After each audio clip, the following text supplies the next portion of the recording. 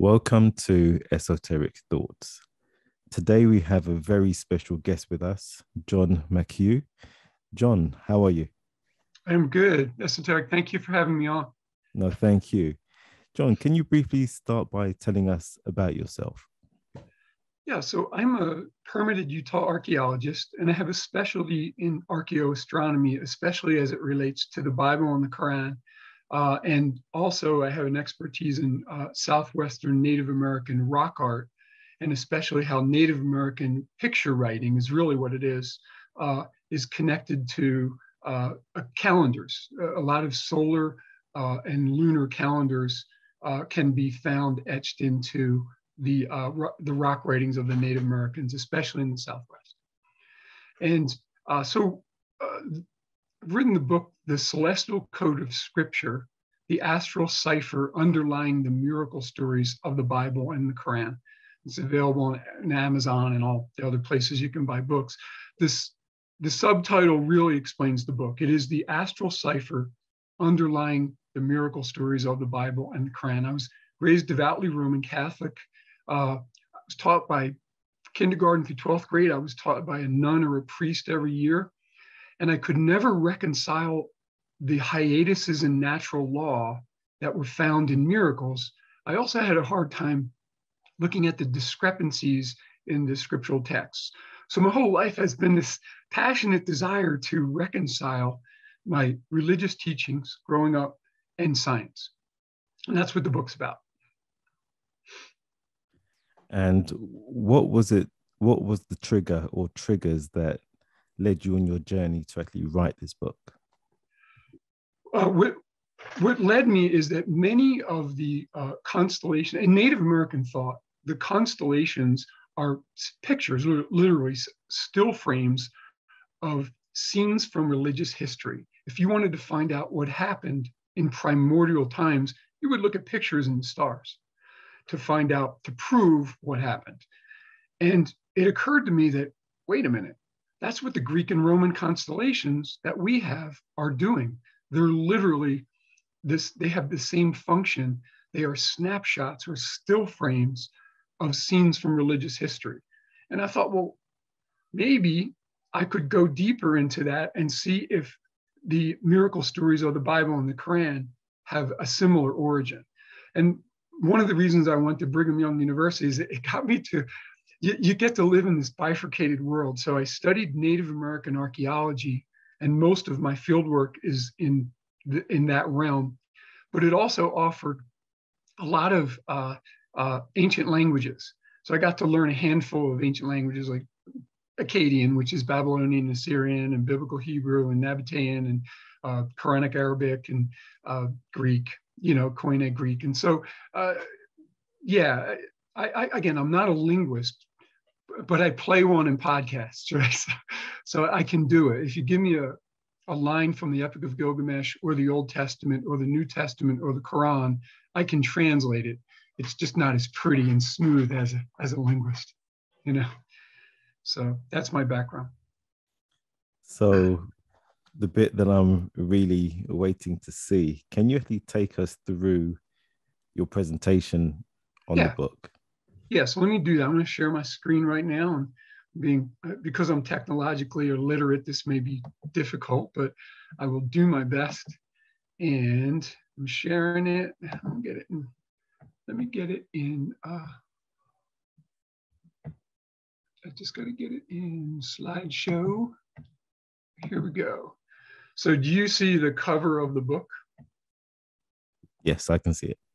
Okay there it is. It's the celestial code of scripture, the astral cipher underlying the miracle stories of the Bible and the Quran. And I'm writing uh, a sequel to the book, and you know that sequel is uh, it's called "Witnessing Jesus's Celestial Sea Walk." But uh, a, a, a paragraph from that really summarizes the, the, the study. It's while a grad student studying the role that astronomical knowledge plays in religious mythology of the ancient civilizations, I stumbled onto an arcane celestial thinking paradigm, unlike any we embrace today. Um, this doctrine held that the constellations depicted still frames of all the monumental incidents that had taken place on Earth. Alternate reading for the cuneiform signs um, that were used to spell out the oldest constellation titles in each tableau divulged the details and the action that was taking place in each astral scene. Hence, in the ancient world, the, the constellations depicted an infallible repository of mythical history, which cuneiform sources describe as heavenly writing or constellation writing.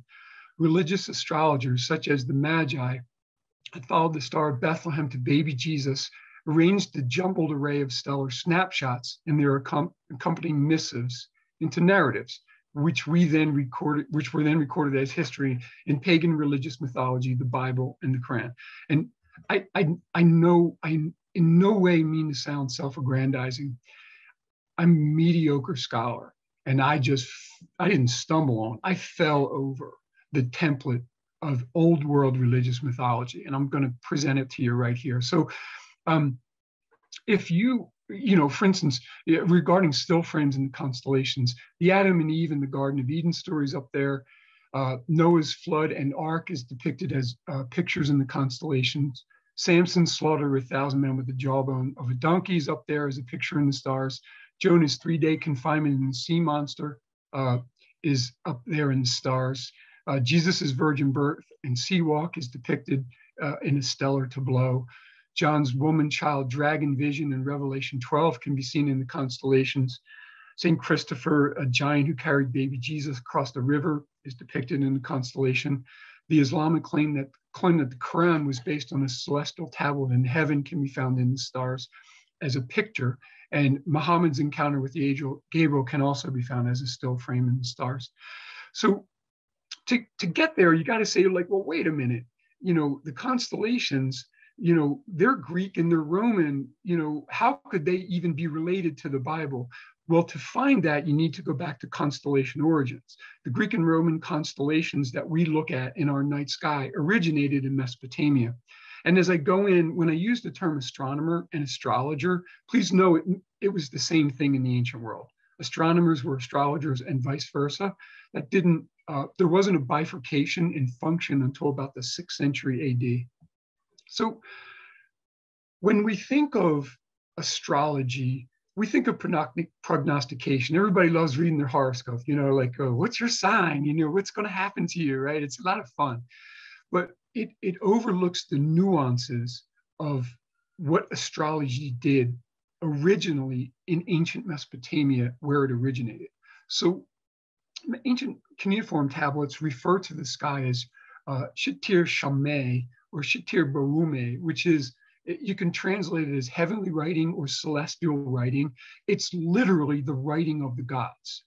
So the title of an astronomer has nothing to do with astronomy. The title of an astronomer in Mesopotamia is Dupsharu, which means writer.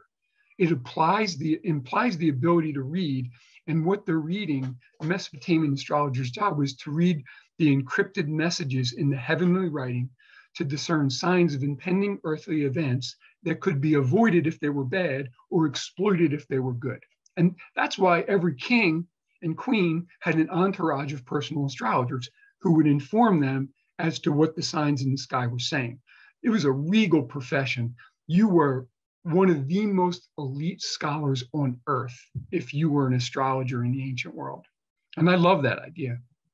So here's the part of astrology that we're not used to. So we're used to astrology predicting the future, right? We're not used to still frames in the constellation or pictures in the constellation uh, verifying historic events. Like we just wouldn't do that today. You'd be considered nuts if you said that today. So the ancients believed that tableaus in the constellations uh, depicted monumental historic events that had once taken place on Earth. And then the second part of that is that wordplay in the constellations cuneiform titles imparted the action and the details that are taking place in each stellar tableau. Again, the pictures in the constellation part you can get.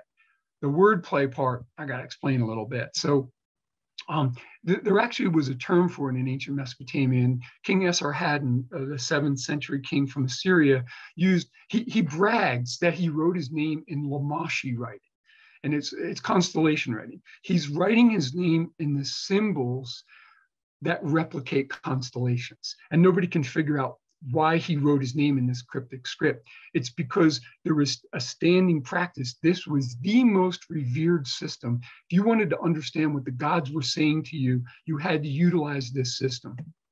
So constellation that's still frames of religious history. I, I, I'm just going to show you something. So I don't know if you can still see me. When I do my research in the ancient studies room, I still bring my trowel because I, I want to think of digging through the linguistics as if I'm looking for celestial artifacts. So I always have it with me, and I use the rectilinear ones in case you're wondering. Um, I very rarely excavate anymore. I'm, I'm always doing, I'm always in an ancient studies room now. But um, anyway, so uh, please think of these, uh, what I'm about to show you as celestial artifacts. So here's a picture from the Farnese Star Atlas. It's second century, right? So you can see like, I'm right in the middle of the screen, you can see Perseus carrying the head of Medusa, right? Well, he's just cut off Medusa's head. And then to the left central part of the screen, you see Pegasus. Well, Pegasus hopped from the severed head of Medusa. You're looking at a scene from religious history. Now, that's a miracle. Now, we today think that's absurd. That didn't really happen. But if you were an ancient Greek or you were an ancient Roman, that proved that it happened. And we just don't think like that. Again, you also see Andromeda. Her arms are outstretched.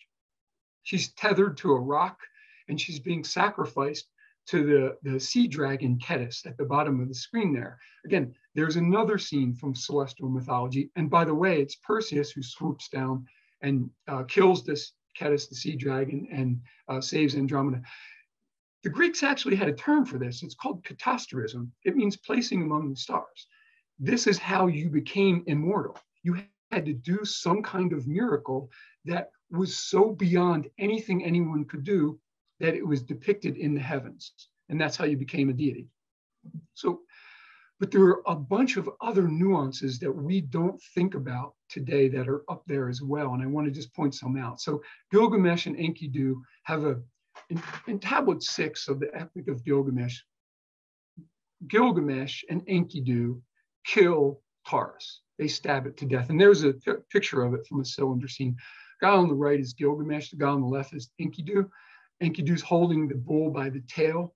That human-headed bull in the center uh, is that's being stabbed by Gilgamesh is actually Taurus. So here's what it says. You know, I translated the cuneiform there, but it says, and the deity Gilgamesh, like a butcher breaking the tablet, brave and uh, skilled, uh, uh, pressed his knife in between the nape, the horn, and the slaughter spot. The nape is the, the bristle on the neck of the bull, the horn, and the slaughter spot is the jugular. And all the cuneiform scholars are saying, well, look, if you wanted to kill the, the bull of heaven, if you wanted to kill Taurus, why wouldn't you just stab it in the slaughter spot? Why would you stab it near the slaughter spot, possibly enabling the bull to survive? So I'll go a little further into that. When you look at Taurus, you are looking at a scene from the Epic of Gilgamesh. So about 10 lines later, we find that Enkidu tears out the Amiti Guana of Taurus and he throws it before Ishtar, who's Venus, right? So Amiti Guana, well, that's the shoulder of the bull. That's exactly how Taurus is depicted. It's cut off at the shoulder. Gilgamesh cut it out, and Enkidu tore it off and threw it up in the stars in front of Ishtar. When you are looking at Taurus, you are looking at a celestial artifact that was created during the, the uh, story, the uh, Epic of Gilgamesh. And several times each decade, Ishtar Venus appears exactly as it states in line 155 of Tablet 6. The bull appears before Ishtar Venus.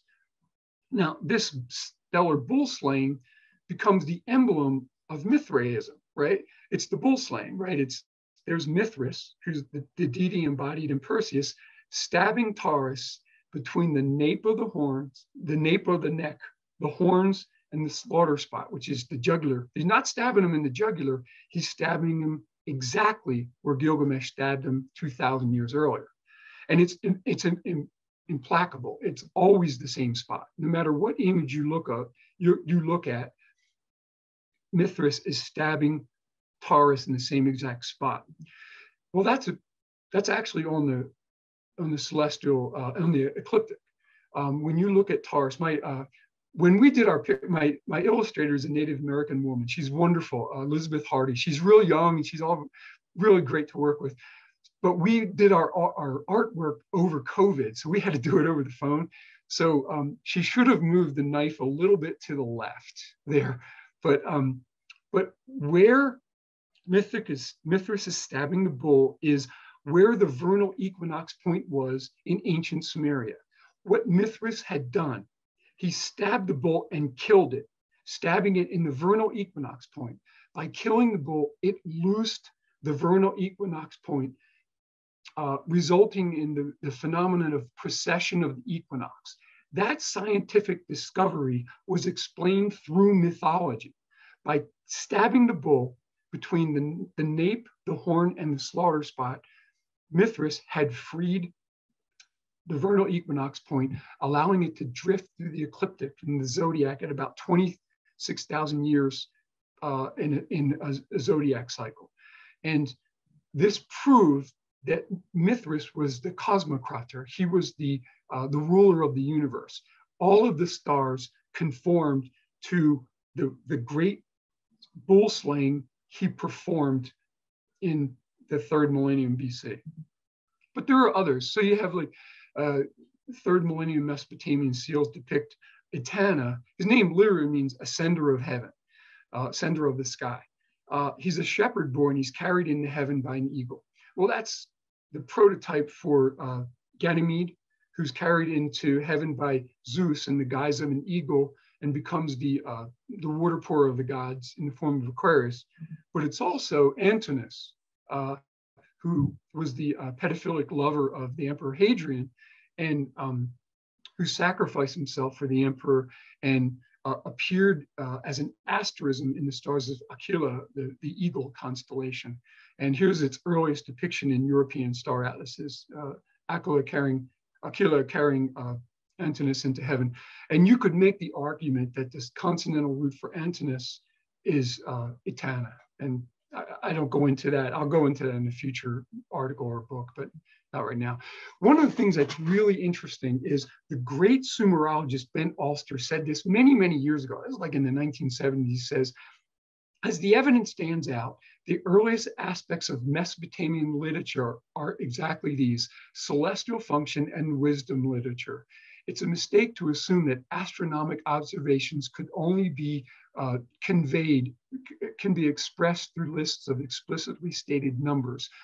Numerous Sumerian hymns and myths take place solely on the starry sphere. What he's saying is astronomical knowledge and wisdom is embedded in the myths. You just have to parse it out. And I feel like I think I did that. So word, here's where it gets hard. I'm just going to apologize to your viewers right now. Wordplay as revelation. We just don't use wordplay that way now. Um, so uh, remember, King Esarhaddon bragged about using the term Lamashi writing, constellation writing. This appears to be a standing practice among the astrologers. And to understand it, you have to understand the solemnity of wordplay in ancient Mesopotamia and the ancient world. Now, we think of wordplay as like a witticism or humor. Um, but the, the scholar who uh, discussed this the best is a guy named Scott Noegel. He's a, just a world-class uh, Near Eastern scholar. He's at the University of Washington. I, I just have to read this for your readers because it, it's that important. If you don't understand this, you're not going to understand my book. So, so he says, we tend to think of puns as a literary device, a sign of humor, rhetoric. In antiquity, puns were not used in that way because the conception of words was so different. Writing was considered of divine origin. Puns provided diviners with interpretive strategies. And by diviners, he's including astrologers in that. He goes on, because perhaps because written word evolved from pictographs in Mesopotamia, words were considered the embodiment of the object or idea that represented. While we read the word dog and know that it refers to a dog, ancient Mesopotamian, Mesopotamians would view the word dog as a dog in concentrated form. As a result, individual words contain the power of essence, in this case, the essence of a dog. There was a whole envelope of information that came with every cuneiform sign or part of a word.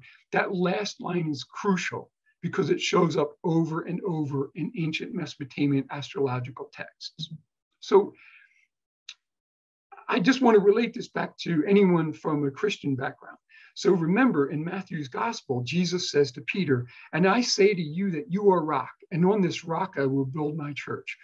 Well, that was drummed into my head by second grade by the nuns because the Roman Catholic Church interprets that pun as a revelation recognizing Peter, Petrus, or rock, that's what Peter's name means, uh, as the first pope in the Catholic Church. So cuneiform texts also refer to two other phrases that come together. Uh, they, they use the term amatnatsirti. It literally means hidden words. We would think of it as homonyms, homophones, synonyms, and a double entendre. The fancy word for it is polysemy, or multiple meanings in a word or phrase. So these amatnatsirti are the Paristu Sha'ili, which is the secrets of the gods.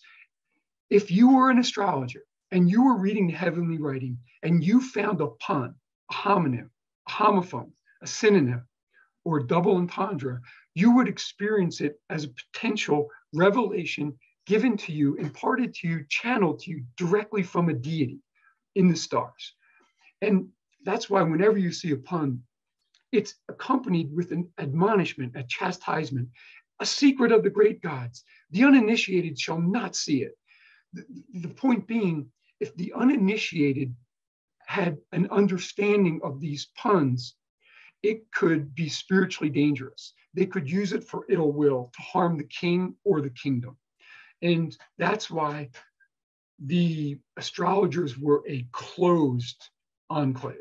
You had to prove that you were a great astrologer to become an astrologer in the enclaves of the ancient world.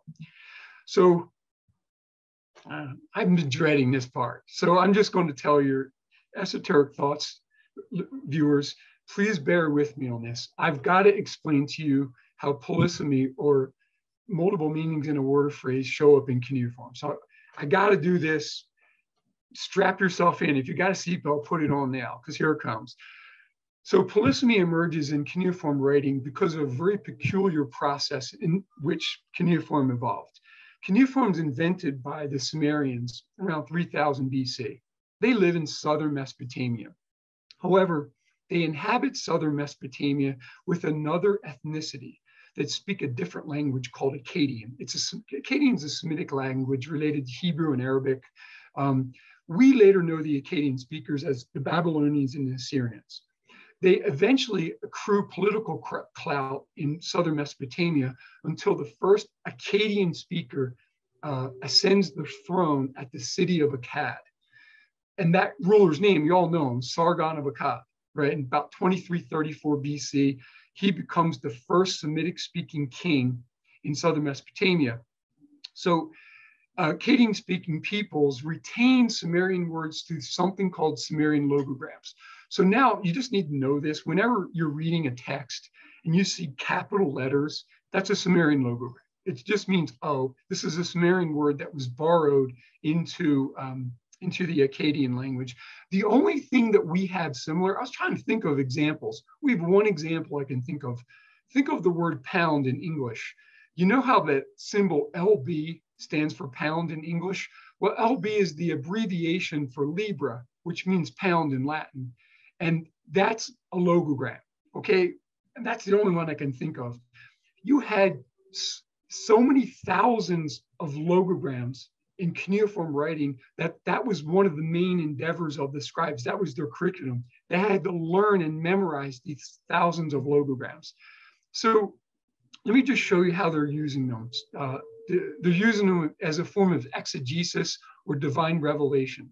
So this is the cuneiform sign An. It just means, in Sumerian, it means heaven or skies. It can also be read Dingir, which means God. Um, and An is just it's it's like an abbreviation. It's like the LB sign pound, right? LB for pound. You can write it really fast. If you had to write out Shamu in Akkadian, you got to use three cuneiform sign. You're holding a clay tablet, you got a stylus, you're trying to imprint it on clay. You're like, dude, let's do this fast. And you know, boom, it's one shot. Now, that's cool. And can be read skies, heavens, or God. Here's where it gets complicated. Oh, by the way, the reason that An uh, and uh, is uh, connected to the sky, and it's also the word God, is because the earliest, the pictographic form. So in 3000 BC, if you were writing the word for God, you would show the image of the star. This proves that the gods are the stars. That's this is an example of it in archaic cuneiform writing. So here's where I get this is the stylized form of An. Remember that star image? Well, this is the stylized form of the An sign.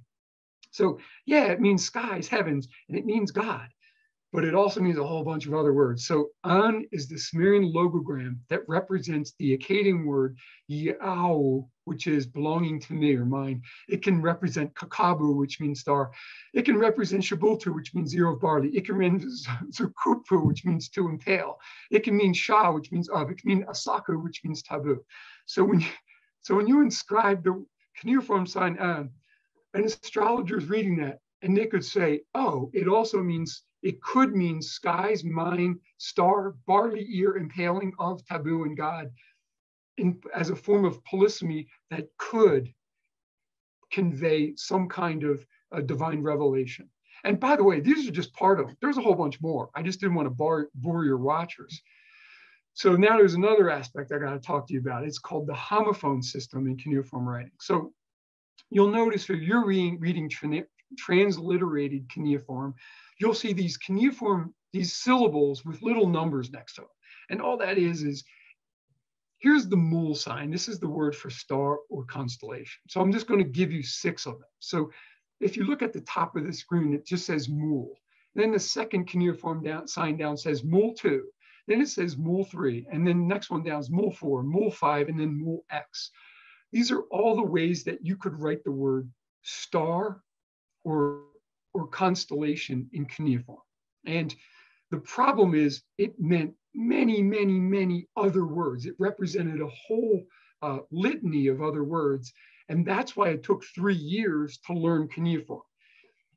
Cuneiform is, Mesopotamian cuneiform is, very few people are literate in, in ancient Mesopotamia, less than 10% of the population. And all of them are working for the king.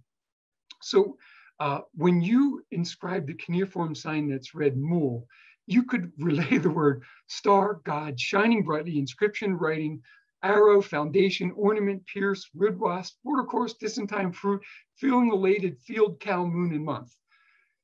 And there are just some, there are actually more.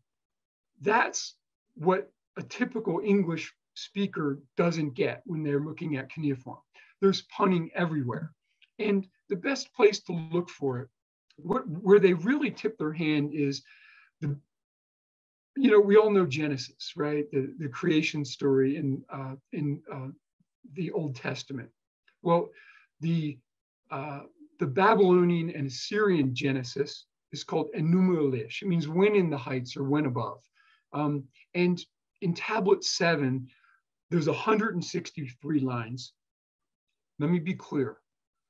Every word of those 163 lines is based on a wordplay embedded in the 50 epithets for the supreme Mesopotamian deity, which is Marduk, uh, which is the planet Jupiter. So I'm just going to give you how they put together line 158. So they knew that Marduk's title was Mul Dingir Nibiru. That's one of his epithets. It's literally, it says star god crossing. His name's, the, the epithet crossing means it's Jupiter when he's standing on the meridian and crossing the midpoint of the sky. Now, there's something called normalized cuneiform. That's not how it looks on a cuneiform tablet. So on a cuneiform tablet, it looks like this. So you had to um, each one of those cuneiform signs, Mul, Dingir, Nibiru, look how complicated it is to write the word Nibiru in cuneiform. You had to use three cuneiform signs, right? And every one of those cuneiform signs means other words. So Multu means star, but it also means Ushapu, which means they cause to appear. Dingir, as we just saw, that An sign can mean God, it can mean star, and it can mean skies. The Ne2 sign isn't used for anything in this pun. B can represent the Akkadian word shu, which means his.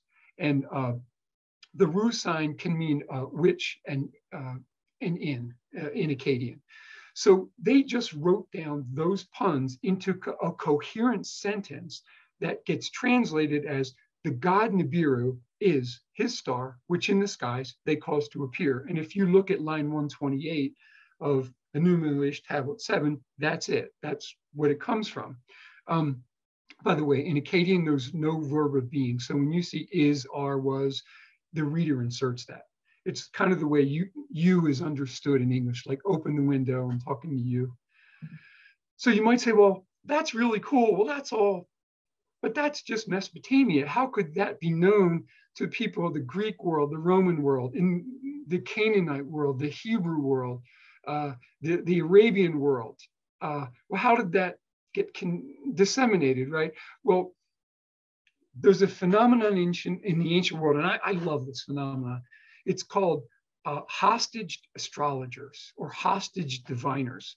So the best place to find it is in the book of Daniel as you, if you're familiar with the Old Testament, Daniel and his three of his countrymen, his Jewish countrymen, are taken hostage by King Babylonian King Nebuchadnezzar, II and forced to work in the entourage of the king.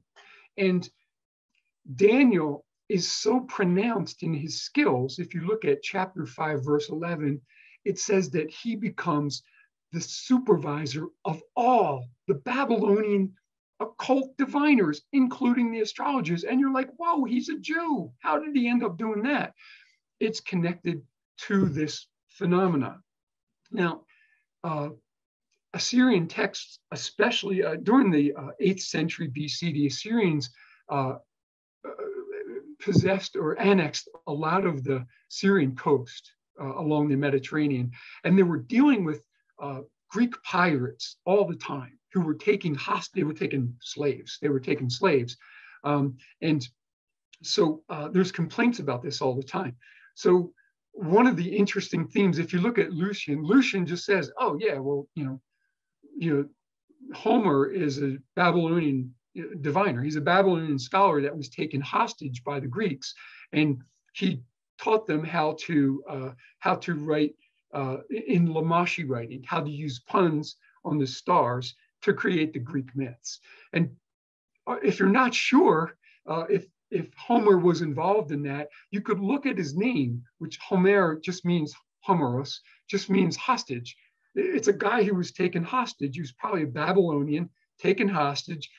They said, Look, what do you know? And he said, Well, there's this whole system of reading the starry sky as a text, and it imparts divine revelation. And that's probably how the Greek myths originated, because they start showing up after Homer appears. Another uh, way that they uh, probably, the hybrid, hybridization of the Jewish and uh, Babylonian Empire during the, uh, the Babylonian enslavement in the sixth century. Think of the Magi who come to the, you know, they follow the Star of Bethlehem to the, the house the house in which Jesus is born. And then there's the best example is Jesus. You know, if you weren't a Christian, if you weren't a convert to Christianity, you knew that Jesus was a magician and he used miracle, he used uh, magic to uh, to perform his miracles. And there's a picture of him right there on a glass plate from like the third century AD, I think. He's if you can see, he's holding a magic wand to raise Lazarus from the dead. And so Jesus definitely understood Lamashi writing, and I'll prove that to you a little later in the presentation. But so let's just show how, like, let me just show you how this stuff actually works. So here's a pretty easy one. So um, we all know that in uh, Greco-Roman religious mythology, there's the golden fleece, right? And the golden fleece carried the children, uh, Phrixus and Hele, and uh, during this, uh, this journey, Hele falls off into the sea. So like, how could that be created? Like, how could that be based on a picture in the stars? Well, if you look at, there's a profound tableau in ancient Mesopotamia. It's, uh, it's a picture of the hired worker. That's Aries there. Just above Aries is his plow. The hired worker implies he's a field worker. His there's his plow. It's the constellation tri- Triangulum. And there's the field he's assigned to till. So uh, the title of Aries is literally Lu Hunga. Lu just means man. You wouldn't read Lu, you just know it's there. It's it's a male profession determinative. And then you'd read Hunga just means hired worker. So this was the foundation of economic success in Mesopotamia, and it was it was deemed, you know, a divine pursuit if you were a field worker. So remember, cuneiform writing is a it's a pain in the ass to try to cuneiform, to inscribe things in cuneiform. So they're always looking for abbreviations and shortcuts. So instead of writing the Luhunga, they're just like, well, dude, I'm just going to write the first cuneiform sign, Lu. Now the problem with Lu is there's about 12 different Lu signs. One of them, Lu number one, uh, remember they're numbered, and if it doesn't have a number, it's Lu number one, is also the cuneiform sign for, you know, Ram. So that's since 1940, historians of astronomy have known that that pun is the basis for Aries, but they just stopped there. They didn't keep going. I'm like, well, look at all the other puns that are embedded in the same exact cuneiform sign. So I'm like, well, Lu can also be read Udu, which means ram. Lu can also be read Si, which means becomes. So now you have the hired worker becomes the ram. I'm like, well, that's pretty cool. That's pretty definitive, right? Well, it gets better. So now I'm just like, again, I said this about a thousand times when I was doing my research, and I don't mean this to sound cocky. I'm a mediocre scholar but I'm asking different questions. And I'm looking at this, I'm like, could it really be that easy? And I'm looking at it, I'm looking at the Lu sign. And I'll have your viewers look up at that top cuneiform sign there, Lu. Notice it's comprised of two different cuneiform signs. It's a composite sign. One is the Lagab sign, and one is the cuneiform sign called bar. By the way, there's 600 cuneiform signs. Everyone has a name. In the same way, like a has the name A and it says uh, B says B, but it's named B. C says K, but it's named C. Well, all 600 cuneiform signs also had names. So the Lu sign is comprised of the cuneiform signs Lagab and Bar. Lagab, one of the words it represents in Akkadian is Sha'au, which means to fly around, flying, right? And the bar sign uh, means horatsu in Akkadian, which means gold. And it's also uh, the cuneiform sign for fleece. So then you write down all the puns. You're like, oh, well, the hired worker becomes the flying gold fleeced ram. Like, all right, well, there's your golden fleeced ram. There it is. It's Aries. So keep going. And you're like, and I'm like, I'm looking at this. I'm like, no, because this is going to bore your readers, but I got to do it. So you look at all the other cuneiform signs, all right? And I'm just gonna, I, I put this in the footnotes of the book. I'm not gonna do this every single scene. I'm just trying to show you one myth that's based on this. So the mole sign right there, right? It has a bunch of different readings. One of them's Nob. Nob is the, the Sumerian word for sea. The Hun sign in Mulduhunga, which is the cuneiform sign for um, Aries. It, it, it, it can be, it, it stands for the verb falls into. Lu can also be read Udu, which means ram. Lu in, has, it's comprised of the cuneiform sign Lagab, as I just showed you, which means flying. Lu is also uh, embodies the cuneiform sign Bar, which means golden fleece. Lu can be read Si, which besides meaning because, can also, uh, it means Shuru in, in Akkadian, um, which means curly. And curly is what Phrixus means. Curly, that's his name. His name's Curly right? So, uh, so that's embedded in that. And Lu is also, it, it's also the word man in cuneiform. And it's equated with the synonym Ili, which means carries. And Ili, if you translate it into Greek, you could get hele pretty easily. The H in hele isn't a letter. It's a rough reading. It's an aspiration. It's, and then you just get ele. And um, the doubling of the consonants pretty common. So when you write down all these puns and you put them out in cohesive statement, you get the flying gold fleece ram carries curly or Phrixus hele. Hele falls into the sea. And that's what it is. That's the denouement of the myth. And I'm not going to go through every single word in the myth corresponds to Lamashi writing, but I, that'll bore you. And I don't want to go through all that to bore your readers. So let's get to the fun stuff. Let's go. I, am always kidding when I'm telling, like, I'm going to tell you where the celestial Garden of Eden is, and then you could go see it, you know, if you want to. Um, I bet you, when you woke up this morning, I bet you didn't think you were going to do that. Um, and again, I, I, I just, it's it's really not that hard once you know cuneiform. So remember that stellar tableau I talked about. Uh, New Year's Day in Mesopotamia, March 21st, early first millennium BC, the cuneiform star atlas Mulapin says that the hired worker will rise heliacally. It's going to mark, it marks New Year's Day, March 21st. So of course, that comes with an entirely intact tableau. That tableau includes Aries, the hired worker, his plow, which is triangulum, the field he's destined to till, which is the Pegasus Square, and just to the southwest is the water god Ea, Enki and Sumerian, uh, who's Aquarius. It just says it right in the cuneiform star atlas. It says, I'm not like making this up. You can just read it in full paint. It says, you know, Ea is Aquarius. You know, so you're like, oh, that was hard. So um, you might say, well, that's cool for Mesopotamian, but what other words are there? Well, when you start going through that, remember cuneiform, writing in cuneiform socks. Like that's why everybody went to the alphabet, right? So they're trying to shorten Luhunga. So they shorten it to Lu. Well, that just means man, right? Well, what does Adam mean? Adam in, in Hebrew just means man. So there's your Adam. So literally, the cuneiform title for Aries, Aries is Adam. Then I'm, I'm looking at the Pegasus Square. Remember, that's a field constellation in Mesopotamia.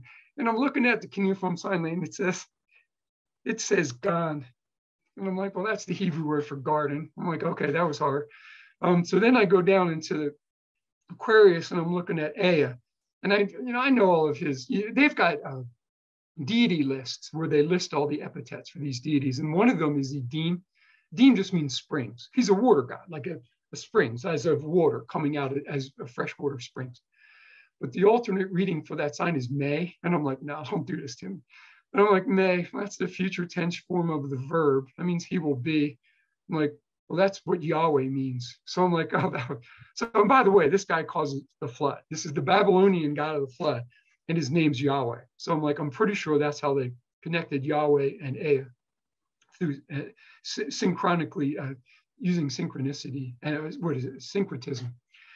Uh, so so when you write down the pun, then there's more puns. And here's where it gets kind of fun. So, uh, and again, it, it, takes a lot of work to do this and it's boring. If you sat with me on a, on a typical day of research, you would fall asleep. You'd be like, this is the most boring thing that I did. And then if I said, well, what did you find today? I was like, well, you know, I was looking at that cuneiform sign, that's the garden. Yeah, well, you know what else? Um, ancient texts say that, remember, it's, it's celestial, it's constellation writing, it's heavenly writing. In Mesopotamia, if it's constellation replicated a cuneiform sign. That cuneiform sign became the constellation's astroglyph. Okay, so um, uh, there's a square cuneiform sign called Lagab. Its sign name is Lagab, and uh, it's the astroglyph for the Gan sign for obvious reasons. It looks just like the Pegasus square. Uh, so remember, the Pegasus square's title is Gan. Its astroglyph, astroglyph is Lagab. And God's got like 16 different readings. One of them is Ni, which means in. One of them is Nigin, which means east. One of them is Bamatu. And I'm like, no, don't do this to me. Bamatu is a synonym for Eden. Eden just means stepland. It means like back country. We would call it like back country, wilderness. It literally means stepland. And Bamatu is a synonym. So Lagab is equated with Eden. So when you write down the puns, you get a garden in Eden in the east. So that's literally what it says, I think in Genesis 2, verse 8. Literally, they're translating the cuneiform right into Hebrew. They're bilingual, probably trilingual. Um, and so Aries is Adam, the, the garden in Eden, because in Hebrew it says garden in Eden, doesn't say of Eden, um, is the Pegasus square. Yahweh, as you saw, he will be, is, is Aquarius and the, the word place has a garden in Eden in the east. And there, there's others. You know, the cuneiform tablet Mulapin says that uh, Aquarius is the Shubat, uh, the Shubat or the dwelling of Aquarius. Shubat just means dwelling of. It's a construct form of the Shubatu, which means the residence of or the dwelling of, right? So it tells you that Yahweh dwells in the garden. So, and there's a bunch of other word plays like um, the Gan sign uh, that represents the garden there in the middle of the picture can also, you know, it's also the word for box for obvious reasons. It looks like a box, right? It has one of its words is akka, which means to place or to put. So you have Yahweh uh, planted a garden in Eden. Um, by the way, the word plant comes from the the constellation uh, of the plow, which is Apin. Apin means a ratio. It's a Sumerian logogram for a ratio in Akkadian, and a ratio just means to plant. So, and you can just, I, am not going to go through every single word, but the book goes through all of the word plays. And then you find Yahweh put there, the man whom he made. Um, fascinating here is the snake. So, where does the snake come from? Well, you remember that garden constellation? Remember, it's a square. Its astroglyph is Lagab. Lagab is equated with the word Eden or stepland. Well, that's a Sumerian logogram. Well, this Akkadian word for stepland is tseru. Tseru just means stepland. Tseru also means serpent or snake. So literally embedded as a wordplay in the title, in the astroglyph for the garden constellation is the word snake or serpent. And that's probably how the idea of the snake in the garden came, that's probably where it came from. And you can keep going. I'm not going to bust this down and bore your readers, but Yahweh, uh, they actually have the word Elohim up there too, which means gods in Hebrew. By the way, the Hebrew word for God is plural. It's Elohim, gods. Um, I, I, go into why that is in the book. But you, you get the word for Elohim made from, Yahweh made from the rib, which he took from the man, made it turn into the woman. Um, you find fruit in the middle of the garden is forbidden. That's all up there in wordplay. Um, you have the words tree of life and tree of knowledge of good and evil. That's up there as wordplay. In the puns I just, alternate readings for the cuneiform signs I just explained to you, like that gon sign, the astroglyph lagab. It's all in like two cuneiform signs. You can even find, these are my favorite parts because the cherubim has been a real mystery and it's just pretty easy to unravel. It's right in uh, Aries. Um, Aries literally has the word cherubim uh, in the lexical texts for that, uh, that you know, uh, what we would call uh, Aries. Um, you also have a flaming turning sword up there, which is, so when you write down all the wordplay, you get Yahweh placed the cherubim and the flaming turning sword east from the garden, and that's what it says in the Hebrew Bible. So anyway, um, I, I, again, I'm not going to bust out every single one. I'm just trying to give you a snapshot of uh, what the book is about. So uh, I thought we could could take you guys to the celestial floodwaters, and um, there's actually two arcs. One is the original ark, and one is Noah's ark. And I can just show you if you want to see Noah's ark, you can show you where that's at. So um, the flood story is fascinating. And the reason it's so amazing is, you know, cuneiform writing is an, it's invented in 3000 BC, but the flood story is never even mentioned in Sumerian writing. It doesn't even show up. The first time it ever shows up is in the Sumerian king list, dating to like 2050 BC. And it shows up as a two sentence, hyper terse statement of fact. That's it. Like the, the flood swept there over. And you're like, why did they wait a thousand years to mention it? If this is this, they always talk about the flood being this devastating event that covered the world of the ancient Mesopotamians. Well, why did they wait a thousand years before they wrote it down? Because they're not doing that, that that way. The Sumerians never invented a flood story. There's a Sumerian flood story written by Babylonians, but it's written in like 1600 BC. Um, anyway, they're looking, remember, if you are a Babylonian astrologer, you are a writer. You're the author of scriptures, and you're looking at the celestial sky as your divine text. The gods are literally channeling the text to you in pictures and puns. So uh, if you look at the picture there, I have the celestial floodwaters there. You'll see a dolphin, a goatfish, you know, Ea, Yahweh is Aquarius, the southern fish, the sea serpent, the river, uh, and it's Argo, which is in Mesopotamia. It's called a magro, but uh, a magro boat's a kind of boat. So these are circumscribed. The celestial sea is a circumscribed region of the sky. It's eight contiguous aquatic constellations. Okay. Now, if you look, there's a crown constellation in the jawbone of the bull. yeah, there's a jawbone of the bull up there, and you probably know where I'm going to go with that down the road here with Samson. But so the jawbone of the bull of the asterism is called Hyades, and it's written in cuneiform. It's written agu, just means crown, but that's not all it means. It's a homonym. It means devastating flood. So remember, ancient Mesopotamian astrologers are the authors of scripture and they're reading the celestial sky sometime in about 2050 BC. They're like, whoa, Agu, that's the, our crown constellation. It's our heavenly crown. But wait a minute, it means devastating flood. Hey, a flood once occurred in the ancient world. It once devastated the ancient world. So then there's no, by the way, there's no flood hero, no flood boat, no bird release theme, no, no denouement, no story whatsoever. 300 years pass before you get the first flood story. That's the tale of Atrahasis, okay? And in that tale, they, they tip their hand. They tell you that the flood boat is a Magor boat. And I'm like, I'm like don't, don't do this to me. Please don't do this to me. So I'm looking at it, I'm like, yeah, there's Ma, that means boat. There's Gore. It, it's the Gore 8 sign. Like, by the way, when you're Sumerian, when you're cuneiform scholar, sometimes you just say it's it's the Magor sign. Like you look like you're flipping gang signs. Like, no, it's a Magor. Come on, man. So anyway, it's kind of fun. I like doing that. I'm from Southwest Philly, so I'm, you know, seen some gang signs. Anyway, Magor. The Gore 8 sign, it literally means dove, but it's also the word for flood. It's a devastating flood. It's it's red Urufai, but it's it's that's literally the cuneiform sign for flood. Anyway, so you got flood boat right there. That's the original ark. So, um, so all of a sudden you look at that in the celestial sky and you're like, well, wait a minute. I've got a devastating flood and the Magor boat is floating on this, this, these flood waters, this celestial sky that is now defined as a flood. And that's why the Magor boat is probably the original flood boat. And it's literally the Argo. So when you look at Argo, you're looking at the Babylonian Ark.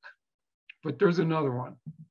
But before we get to that, so I, I wrote in an article, I think it's in Archaeoastronomy and Ancient Technologies, um, that the Magor boat eventually becomes the Argo. And let me show you why. So like, it's like, so I, I'm, I'm adopted by Irish Catholic families from an orphanage in West Philadelphia. So the only thing they told me is my parents were Polish.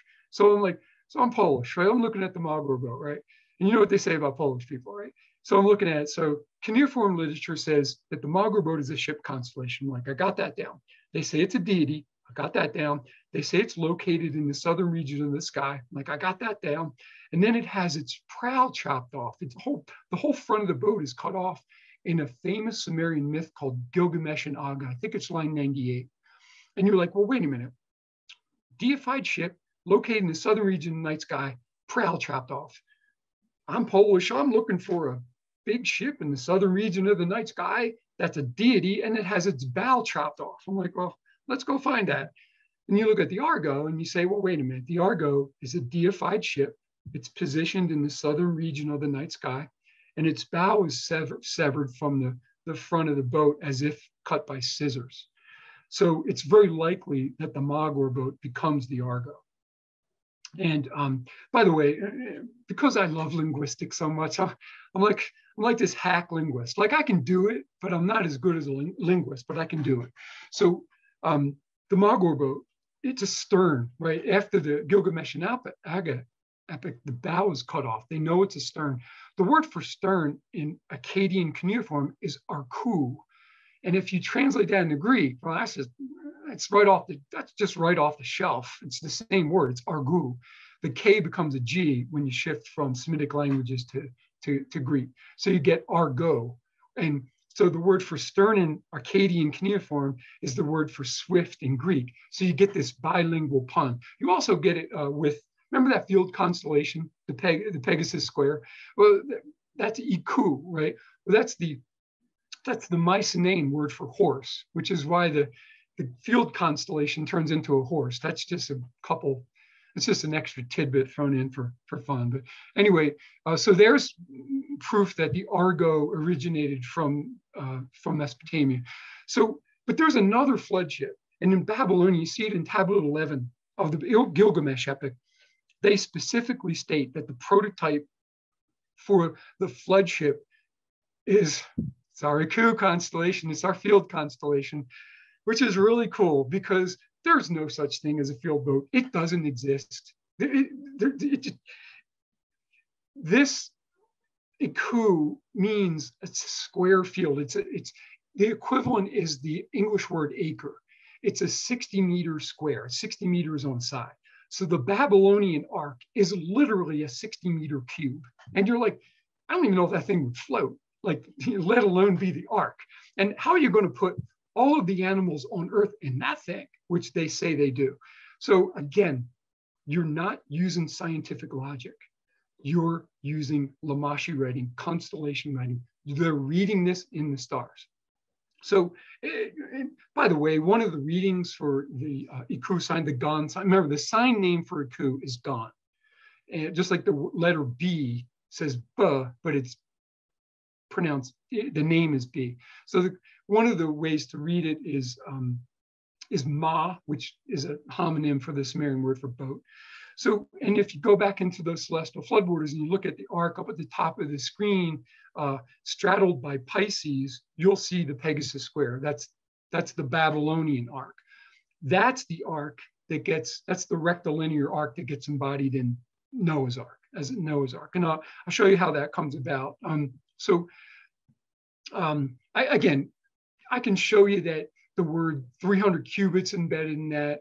Um, and then what, 300 cubits long, uh, 50 cubits in width, 30 cubits in height. That's all embedded as wordplay, but that's another book that Monkfish wants me to write. So I'm not going to go into that right now. I'm just going to show you the etymology. It's unknown etymology. So nobody knows where people, where the Hebrew word tebat came from. Now in, in modern Hebrew, it's teba or teva.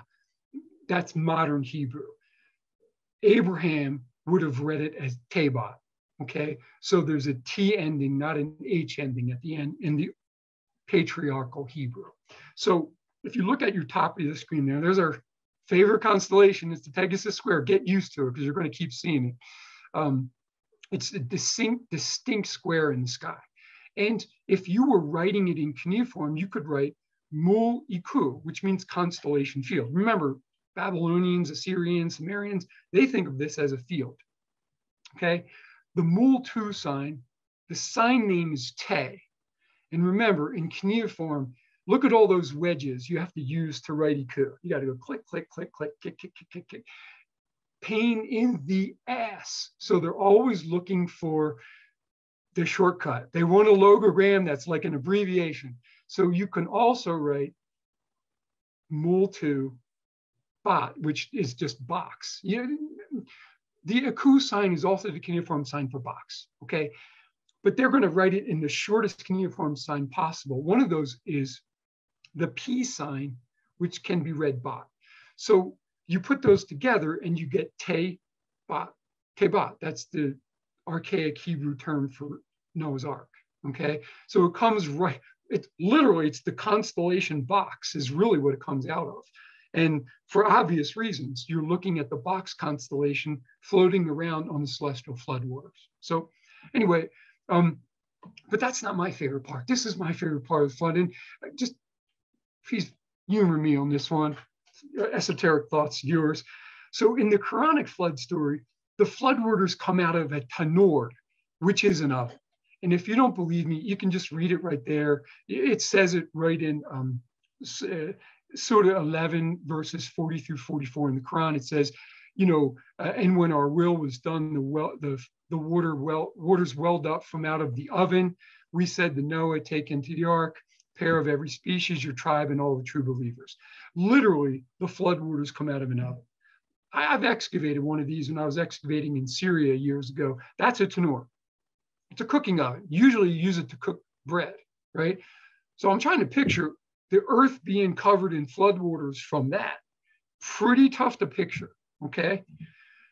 Not if you're reading the celestial sky as a text and you're looking at wordplay as revelation. So remember the Pegasus Square constellation, that's the Babylonian and the Hebrew ark. Well, Datiku constellation also means it's the verb for carrying floodwaters. I have all this in the footnotes if you don't believe me. If you think I'm full of crap and I'm making this up, that's what the footnotes are there for. You can go check my sources. Please do. Uh, by the way, I don't mind being uh, conf confronted because uh, I'm very confident about this work. Um, so uh, it's also the cuneiform sign. You can it can be read Gatu, which is box, and Remember the astroglyph? Remember that Lagab sign I told you about? The cuneiform sign Lagab, that's the astroglyph for this, this constellation, Pegasus Square. Well, Lagab is also read gear, and gear is the word for oven. So wordplay embedded in the Ark constellation says the oven carries floodwaters. And remember, uh, Muhammad was illiterate. He was tutored, tutored by a, a, a, magus, a magician named Salman al-Farsi, which is why the Quran is called the recital because uh, Salman dictated all of these astral myths to him, and then he translated them in Arabic and set them as autochthonous uh, Arabic scripture. And you, you know that um, because when Muhammad said that he had found all of this, uh, he had been dictated, the angel Gabriel told him all of these Islamic scriptures. He said, all of the pagan holdouts that didn't join uh, Islam, they said, yeah, this is asatir. It's uh, it's myths of the ancients. He's recycling ancient myths from celestial mythology, and they didn't join him. You know, so uh, that's in. There's ten different places in in the in the Quran where you can you can see that. Um, uh, so I thought while we're going over it, um, if you wanted to know where Samson is, and you can see a picture of him uh, killing a thousand men with the donkey's jawbone in the stars. So just take a little sip here. So in Hebrew, you got Shimshon. That's how you write it in archaic vowels Hebrew. It goes right to left. SHMSH is the word son. The WN at the end, it's the diminutive ending. It's sort of like, in English, it's sort of like the at like when you say kitchenette means little kitchen, well, the un, the WN ending, literally shimshun means little son, infant son, diminutive son. So you're like, why? Well, let's go look for a, a guy named Little Son, right? So going back to that crown constellation in the jawbone of the bull, you already know where I'm going with this. So there is about 12 different ways to write that constellation title. One is with the Sumerian logogram main which just means crown, but it also means a whole bunch of other words in Akkadian, as I showed you earlier. One of the words is agu, which is crown, but main also represents the word shamash in Akkadian, which means sun. It also represents the word shawu, which is king, and it's also the word for baby or infant. So embedded in this as double entendre in this cuneiform sign for the Hyades is the word uh, infant son or baby son, little son. Samson, that's what Samson is. He's a little son. And that's why his name's so peculiar. But there's more to it. Remember, you know, the Hyades asterism is, is uh, held within the Taurus, the bull. And Taurus, it goes by the cuneiform sign Gu4. It's the Gu4 sign. It's Gu4. Um, so Gu4 mean can mean bull, but it also means warrior in name. So you get the words a warrior named infant son, warrior named Samson.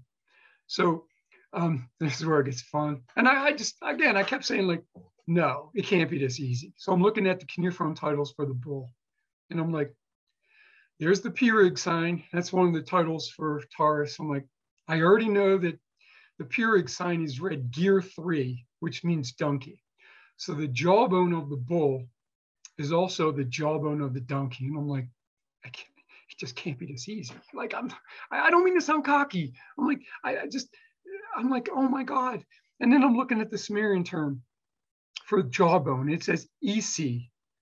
And if you look at the lower left there, I'm like, oh my God, I know what an Akkadian scholar could read that at. Is is the, it's called the construct form. It's the possessive form of the word isu, which means jawbone. Is, C, if you look on the right side of your screen, means jawbone of the, in Akkadian, and then C would be the logogram for donkey. So jawbone of the donkey. So there's two or three ways where you get jawbone of the donkey out of the Hyades asterism in Taurus. And there's your donkey's jawbone. So, you know, so you have um, the Hyades asterism represents Samson. Uh, the jawbone of the donkey is also embodied as another word play on the Hyades asterism in, in Taurus. The title for bull, which is Lu, is a homophone for Lu, which means to seize or to grab. So you get the word Samson grabs the jawbone of the donkey, and then and then it's just you know these eye star of the bull. Aldebaran is the brightest star in the bull. It's the bull's eye, literally, and it's called Igi in Sumerian. Igi just means eye. It's also the cuneiform sign for a hundred. And Igi can be read Gi, and Gi means to kill in Sumerian. So, um, and I just told you that Taurus can be read Lu, which means bull, in Akkadian, but it's a homophone with lu, which means man. So you end up with wordplay in the celestial writing gives you Samson kills a thousand men. So um, that's probably how they came to the idea that Samson did this, this absolutely impossible feat. He killed a thousand warriors, a thousand men with the jawbone of a donkey. So wanted to know how Jonah was swallowed by Cetus, the sea serpent, the sea serpent constellation. I'm sorry, I've been talking a lot. So again, another one of my favorite myths. So when you look in the Hebrew Bible, it specifically says that Jonah was swallowed by a dag gadol, a giant fish. Okay, there's a picture of it. One of the like 16th century painters does it. However, in the Greek Old Testament, and uh, Jesus being quoted in the Gospels and in early Christian iconography, uh, Jonah is unequivocally swallowed by a ketos, which is a sea dragon. Literally, it's a dog-headed sea serpent. I assure you, if you look at those bottom pictures, there is no fisherman that has ever caught that animal. Okay, the only place you're going to find that animal is in the form of Cetus, the dog-headed sea dragon, which is in the constellations right? So how did, how did, uh, let me just tell you where Jonah is first. Remember that Magur constellation? Well, Magur, there's about eight different or 10 different cuneiform signs that are written Ma. The Ma 2 sign means, it, it means boat. The Ma 1 sign is the word for prophet. So it's a homonym. So when you wrote Ma Gor, you know that it, mo- it meant boat. Gore 8, with this, the cuneiform sign you see there, is literally the cuneiform sign for dove. Jonah means dove. So Ma, which means boat, is also a homophone with Ma number one, which means prophet. So you literally have the words the prophet Jonah. So Uh, embedded in the Argo is probably, they're probably looking at the Argo, the original flood boat, as also the words the prophet Jonah. So, so how did the prophet Jonah come to be swallowed by a big fish in the Old Testament and a dog-headed sea serpent, Cetus, in, in the New Testament and in Christian iconography. Again, it's based on wordplay. What really fascinates me here is you're getting into the mind of Jesus. Jesus knew that the biblical text said dagdol. He knew it said big fish. However, he tells us that he's swallowed by a ketos, a dog-headed sea serpent. I'm like, oh, it's right there. So to, to reconcile the two, you again turn to Enuma Elish, the Babylonian creation myth, Enuma Elish Tablet 7. Um, actually, several of the tablets, including Tablet 7. Um, if you remember in Enuma Elish, Tiamat is the, the sea goddess, the ocean goddess. She's killed by the planet god Marduk, which is Jupiter, and she's put up in the stars. She becomes the wet region of the night sky, right? So because she had three um, babies, she had three dragon babies. They appear in our own night sky. There's Cetus, the sea dragon. There's Hydra, the water snake. And there's Draco, the dragon that winds itself around Polaris, the pole star. So um, when they're referred to in the aggregate in Enuma Elish Tablet 7, they refer to them as mushmak, which means it literally means mush just means serpent or dragon, and mak just means big, gigantic, huge. So you have a huge serpent. However, you if you were um, an astrologer and you knew Lamashi writing, you would have read the lexicons that said that mush is also a kind of fish. It's probably an eel. Um, and so it refers to a big fish. And some of the lexicons actually say that. So it tells you what Jesus knew. Jesus probably knew Lamashi writing. He was probably indoctrinated, maybe when he was in Egypt, into occult scholarship. And he knew that the words big fish were embedded in the Old Testament story of Jonah, and that he knew that that same constellation could also render, uh, you know, Mushmak, the giant serpent, which is the sea serpent Cetus. And if you don't believe me that Jesus knew this, I just turn you again to everyone who wasn't Christian. They're like, well, how did Jesus perform his miracles? Well, he's a magician. There's a picture of him there raising Lazarus from the dead using a magic wand. And every Jew and every pagan saw Jesus as a magician. They're like, oh, yeah, well, he knows magic. Well, and he's a really good magician. He's actually good enough to start his own religion. Um, so uh, I thought now we could maybe jump into, uh, if you wanted to know what the Star of Bethlehem was, and uh, you can actually find the stellar picture upon which Jesus' nativity is based on. And that's kind of a fun one to look at. I was hoping your readers would enjoy that. Um, so, um, so Jesus is a baby, right? We have two different, two different, absolutely entirely unreconcilable versions of Jesus's birth. Matthew tells us that Jesus is that a prodigious star appears that astrologers from Babylonia follow it uh, to Jerusalem, and then the star hangs a left and goes another six miles south, south, and literally stops over the house of the Christ child. And you're like, whoa, over the house of the Christ child? Ain't no star is going to be doing that. There's no way, brother. That ain't happening. So I'm like, I, okay. And then you read Luke's. For I mean, I remember reading this with the nuns. I'm like, whoa, they made us read both stories back to back. I'm like, Sister Regina, Luke just told me that Jesus was born in the caravanserai, which is the courtyard where all the car- where all the uh, animals are kept. There's no rooms in the surrounding inn.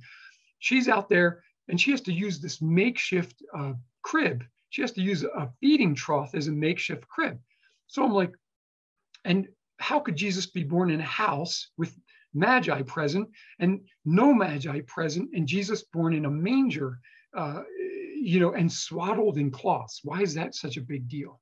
So I can show you what that's all about. So when you look at Regulus, which is the brightest star in Leo, the title of Regulus, it's the king star. It's written Sharu, but Sharu is literally a homonym for child or baby or infant in the same way that you could say like a, a bear in the woods and to bear a child. It's a homonym like that. The, the cuneiform sign is equated with the Sumerian logogram Me, which means anointed one. It means Pashishu in Akkadian, which means anointed one, right? So the anointed ones is Christos, it's Christ. So so wordplay embedded in the titles, all of the titles for uh, Regulus render the Christ, Christ child the king. That's exactly how he's described in uh, uh, Matthew's birth story and Luke's birth story. And by the way, M- Mark and John don't even write down a birth story. So then you're like, well, where's this pregnant virgin at?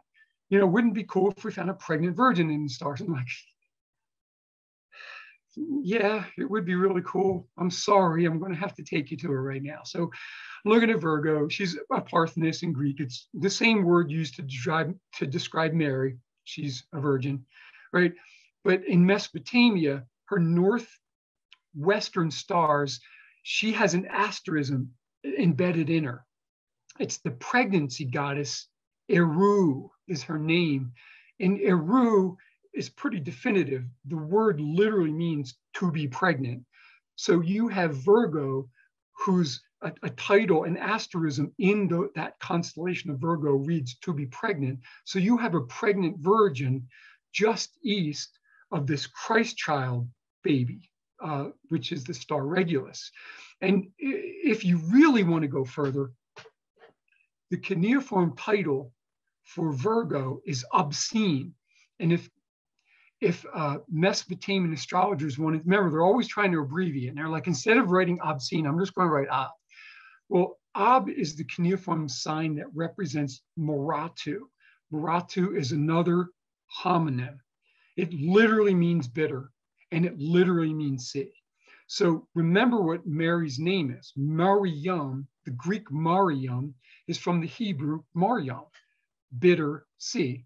Bitter sea just means salt water. You can't drink it. That's why they call it bitter sea. So Miriam's name, it's a peculiar name, but it's right there in the wordplay. So you have a pregnant virgin named Mary. So I'm like, I, am going to go out on a limb here. I'm going to think that I bet that's identified as Mary in the Gospels.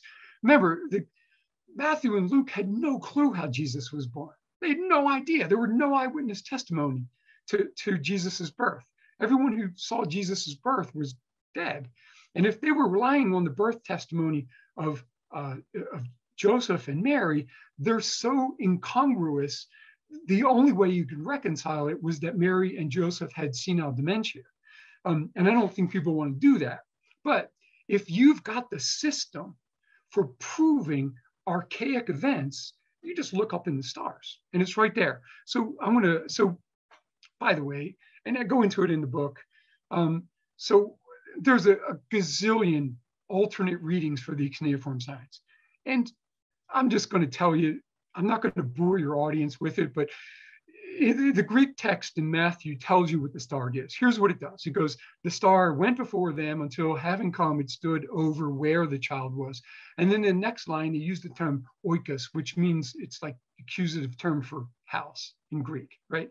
So, so it's right there. Like it's all written in puns. Every one of those words correlates to a, a constellation writing pun embedded in the titles for the child star Regulus. And that's how you got even the words, there's even the words three astrologers, believe it or not. So, um, but I go into that in the book. I'm not going to really go into it now. I'm just trying to show you there's a picture of it in the stars. So Luke's version, we're like, well, Luke doesn't say that. Well, the reason Luke doesn't say that is he's got the same picture story, but he includes the manger asterism in Cancer. So M44, the star cluster in Cancer, is called Phatne, just means manger. And it comes from the idea, remember, it's in Cancer, right? It's a crab, right? Well, very large crab shells in Mesopotamia were filled with fodder and used as a manger, which is where the idea probably comes from. But anyway, so if you look at all the titles for Regulus um, and, uh, and Leo and M44, you end up with, uh, and I'm just going to go through them. You get the words, you know, a star. The Multu sign is also the logogram for emedu, which means to lie or lying, like lying down. And sharu means infant. We've already gone over that. The Sumerian logogram for Regulus is Lugal, which means king, but it also means fine cloth. The titles for Leo are Ah, which means lion, and it also is the Sumerian logogram for Ina in Akkadian, which means in. Um, another title for Leo is Labu, which means lion. It's also the verb to wrap up and M44 is a manger. So, you know, so Luke's looking up there, he's looking at the picture story of Jesus's birth, and the word plays reveal a whole, all the details from that picture story. And they tell him an infant wrapped in cloth lying in a manger. And that becomes what is it? Luke chapter 2, verse 11. Remember the sign? Um, it's the sign of the infant that he's going to be wrapped in cloth, he's going to be swaddled, and lying in a manger. And that's where it comes from. That's why I picked those words to show your audience. So, um, so most people don't realize that you know, you, you know Jesus rises from the dead. Of course, that's his signature miracle. He he he resurrects from the dead. But his his second most popular miracle is walking on water, and we use it all the time as euphemism for uh, miraculous, you know, impossible, supernatural, right? Like you want that done by when? you think I can walk on water? You know, we say terms like that. Um, so it's come into the common vernacular. And, uh, you know, uh, but I was fascinated by this because I, I, just remember I'm taught by nuns and I had so many remarkable conversations with Sister Regina, Sister Pat Hagen, and all the other nuns that taught me in grade school. And it was Sister Imelda. She hit me a lot though. But um, anyway, um, so most people don't realize that, you know, Orion walks on water according to Hesiod. He walks on water in 700 BC.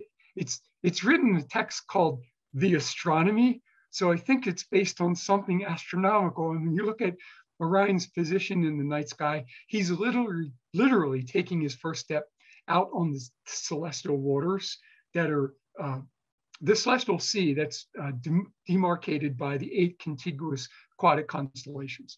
His front foot, I think it's the star Rigel, they call it Rigel, it just means like foot in Arabic or leg in Arabic.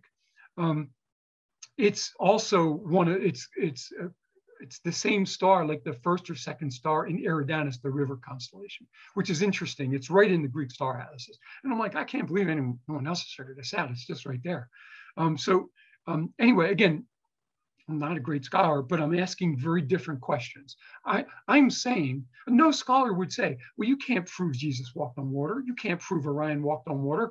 And I'd say, I'm going to see if you actually can prove that Orion and Jesus walked on water. That's the difference. I'm not, I'm just looking for the evidence, even though everybody's already told me you can't find it. So, so you might say, well, how could the the evangelists of the New Testament come to the idea that Orion was Jesus. How could they do that? How is that possible? Well, in cuneiform writing, Orion's got like 15 different titles. He's often defined as a shepherd. He's also defined as a son. And one of his, uh, his Sumerian cuneiform titles, you look up at the upper left there, is Dingir Dumu. Another one of his Sumerian titles is Mu Sukal. Now, please look down at the lower left part of the screen. So when you say Dingir Dumu, you just mean the sun deity as an S-O-N deity, the sun deity. And Dingir just means God, but it also means of. Sukal, it means messenger, but it's also the Sumerian logogram for the Akkadian word Pashishu, which means anointed one. So you all of a sudden have these words embedded in Orion as celestial word plays. You have Son of God and Anointed One. And remember, Anointed One is Christ. It's the supreme epithet for Jesus. Jesus was the Christ. That's what made him so special. So they're looking at this picture and like, oh, well, there's the Christ. Well, then we know Jesus walked on water. So I go into showing how all the discrepancies in the in the Matthew, Mark, and John's version of, of the sea walk are different in the Gospels. And celestial wordplay, Lamashi writing wordplays explain that. I'm not going to go into it here. I am going to show you that um, the words tread upon the sea are also up there in case you don't, it's not just a picture. Um, so when they're writing this down, uh, remember the constellation. I'm looking looking at Mu Suko up there in the upper left. Remember, Mul just means star or constellation, but it also can be read Shuhub. And Shuhub is a Sumerian verb that means to step upon or to tread upon. And so, you know, what you get is the Son of God, Christ, the you know, anointed one, is treading upon the sea. Uh, by the word, Mul can also be read Nab, and Nab is just the cuneiform term for sea in Sumerian. So um, one thing that's really interesting, I'm just going to leave you as far as this story goes. Um, if you remember, in all of Jesus's sea walks in the Gospels, he steps down from a mountain, and positioned just behind Jesus is Gemini. Gemini is a twins in Mesopotamia, but it's a twin mountain constellation called Mashu. Mashu just means twins.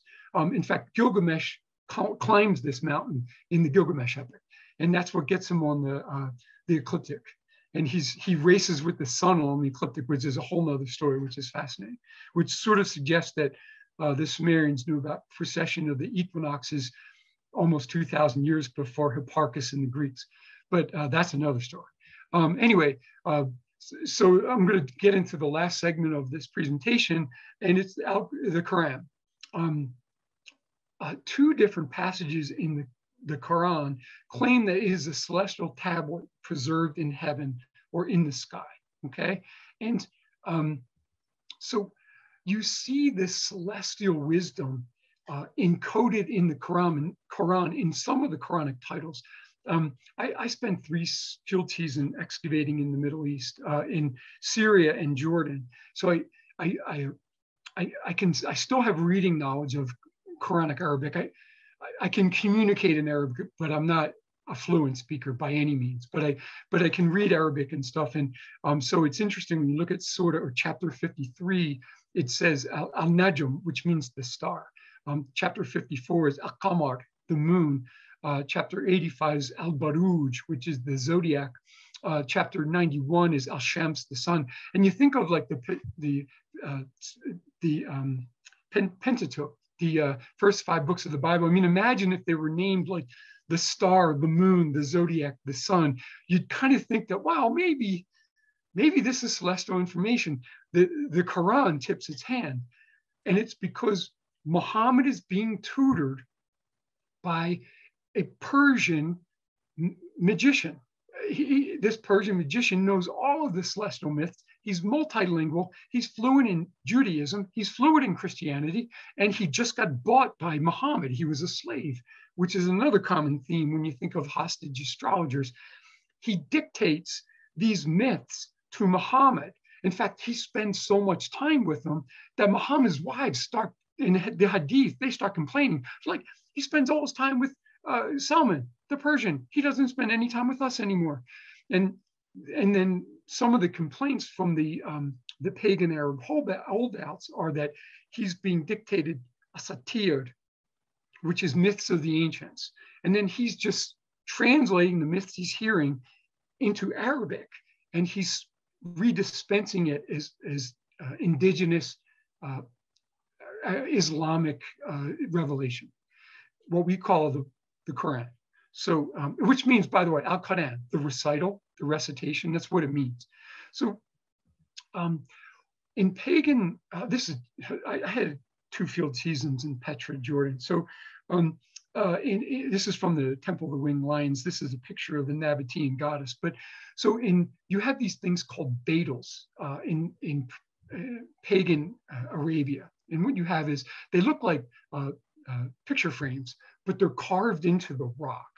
And then you would put the image of the, your deity and pray to that deity, or you might have multiple deities, and you would pray to that deity. And it's a very astral based religion. Um, and there, there's some evidence that one of the titles for the moon god is um, uh, Al is the God, Allah, the God, which, you know, that's what uh, Muhammad said. And that's part of the reason why the pagan holdouts could believe him, because a lot of what he was recycling was pagan Arab uh, revelation, uh, I should say scripture. But anyway, getting back to celestial mythology, so the, the all of the hadiths, every Muslim scholar will tell you that the Quran is based on a celestial tablet that's kept in the sky. It's kept up in heaven. And in fact, that's where Allah is. So remember that Pegasus Square constellation that we've talked about quite a frequently, quite a few times so far today. Um, well, that cuneiform sign, remember the astroglyph is Lagab. Well, Lagab is also the cuneiform sign for writing tablet. And if you were going to write that as constellation, you would just write Mul Lagab, which renders celestial tablet. Okay. Now, Lagab can also be, uh, the cuneiform signs for this constellation can also be read A, or E, is, which means to name and rejoicing, uh, re, me, reciting. So you have a celestial tablet. Um, when you write down the puns, you get a celestial tablet named the reciting or the recitation, the recital. You have a celestial tablet named Al Quran, the recital. Okay.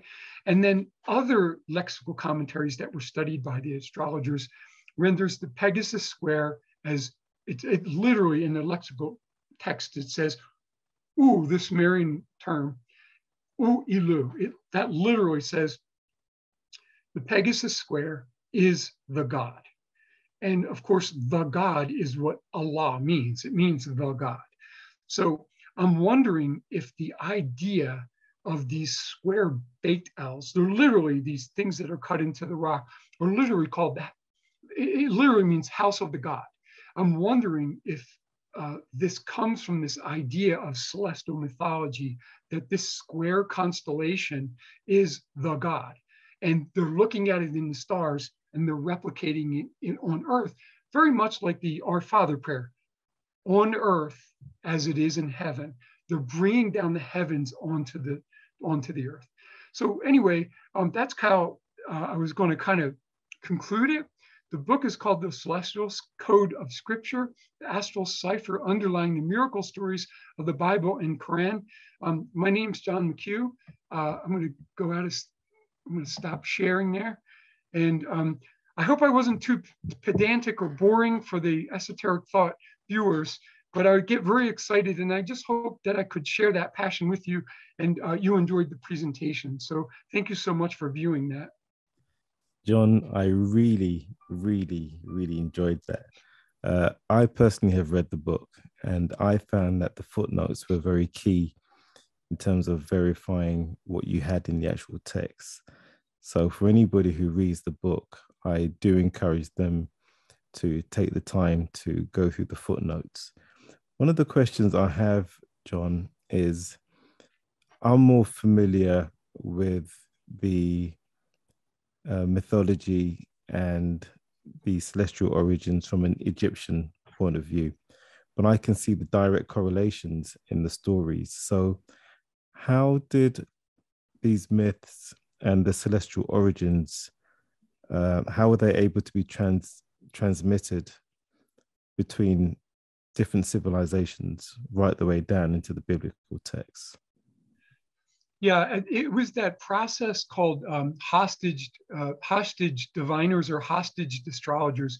They're all when the first thing you would do if you were a vanquishing king and you took in and you conquered another city, the first thing you would do is you would round up every uh, exorcist, every lamentation priest, every diviner, every uh, person that reads uh, liver omens, and every astrologer, and you would bring them, you would wine them and dine them and you'd bring them into your, they would be welcomed in your entourage, which is exactly what Nebuchadnezzar II does with Daniel and the three his three Jewish countrymen.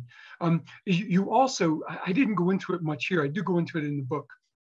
The Assyrians were having a they were having a hell of a time with the Greek pirates coming in and invading coastal Syria, which was under Assyrian control. And they were taking people as slaves and they were taking them off and bringing them back to the Greek homeland.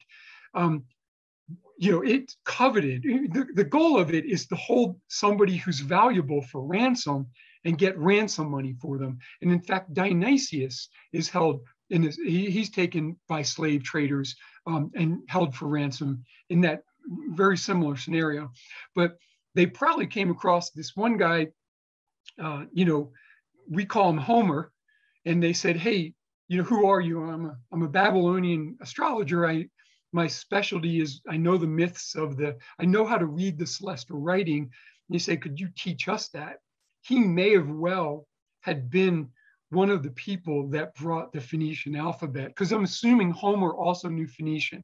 So he probably knew cuneiform, he knew Phoenician. There's a guy named Walter Burkert who I almost had a chance to, he, he's friends with the scholar that taught me Akkadian. And uh, he writes about this uh, numerously uh, with the uh, exchange of ideas. But that's what the alphabet is. Like it's based on uh, cuneiform writing, like like alphabet. Like it, there's no word alpha and there's no word bet in Greek. It's the aleph bet. It's aleph in Hebrew and Canaanite is, is, and Phoenician. It means it means bull and bait means house. It's the bull house. It literally tells you how you got to memorize these cuneiform signs because they're coming from pictographs. Um, so it shows you the system of learning. But again, Homer, his name means hostage. I'm like, I'm like, and Lucian literally tells you, oh, he has this mock interview. Remember, Lucian's a satirist. He he's always got his tongue in his cheek, but but it was common knowledge amongst the scholars that Homer was he was a hostage. He was probably a Babylonian that was taken hostage by the Greeks. And he said, look, there's a whole new pantheon up there.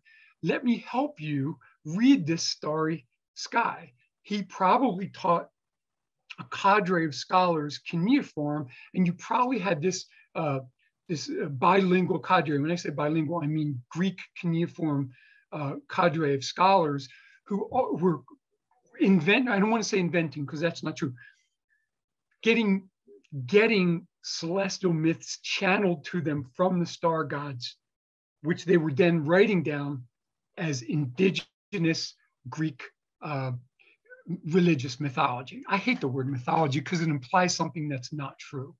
Um, I, I, if you were a Greek, you believed it 100% in the same way that a Christian believes Jesus resurrected from the dead, and that um, that is Muslims believe that Jesus is the prophet of Muhammad. And I can respect all those traditions and even the, the pagan ones. Um, and I, I, you know, in emails we've joked, and I said like one of the things is if you're if you're Catholic, you're pagan, you just don't know it. You know, so I hope I can connect Catholics to their pagan roots in this book. You know.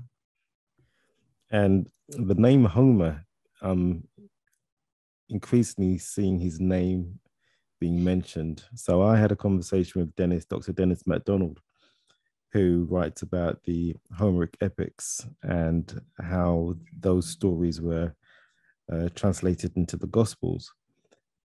So I know you don't like using the word myths, but for want of a better word, looking at those Greek myths that Homer wrote uh, and how they were literally in the Bible, in the Gospels, as you've gone through your presentation, I can actually see the correlations between the the Mesopotamian into the Greek into the Gospel. So you're actually helping to join the dots here.